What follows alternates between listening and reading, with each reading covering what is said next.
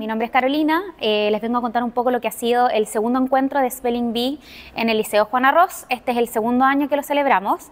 Eh, hoy día es 3 de septiembre, eh, lo celebramos a las 3 de la tarde acá en el salón. Participaron tres categorías, la categoría de séptimos y octavos, primeros y segundos y terceros y cuartos medios.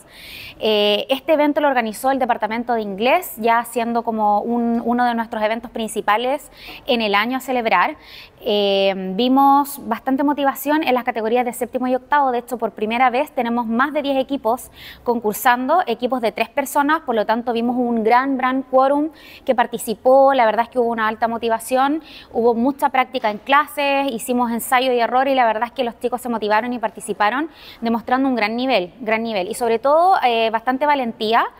Eh, para pararse enfrente del escenario y poder eh, expresar cierto en voz alta una palabra en inglés en frente de personas que no conocían.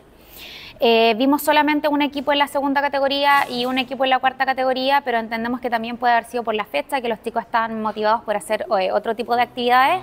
Sin embargo, creemos que este evento salió eh, victorioso. Estamos muy contentas de la participación y sobre todo del apoyo de las familias, que eso fue el año pasado. faltaron un poco los papás y ahora sí pudimos ver de que estaban acá apoyando a los participantes.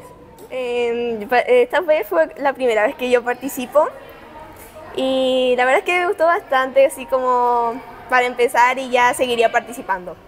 la verdad es que yo participé el año pasado y gané también. y al principio estaba medio nerviosa por las personas contra las que me iba a enfrentar, pero después cuando salí adelante se pasó todo.